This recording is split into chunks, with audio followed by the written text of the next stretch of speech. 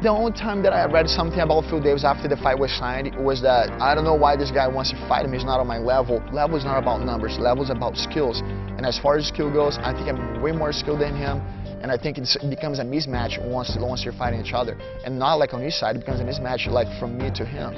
He's going to turn and flip him. Beautiful! I want to fight a guy like Phil Davis who cannot like grapple. He thinks he can because he's been fighting a bunch of cans that cannot grapple.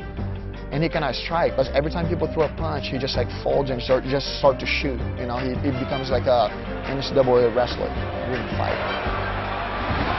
Neither one of us is known for being like great strikers. Wrestling, I'll give that to Phil Davis, but who cares? He takes me down, he's gonna be my world. I know if I'm getting that situation, if I put him on his back, or even if I go on my back and he gets to my guard, I'm gonna submit him. Outstanding! That is a Brazilian Jiu-Jitsu world champion! I'm not worried about Phil Davis. I'm not worried about what he says. I'm not worried about him trying to talk tough, because I know that's just talk, nothing else.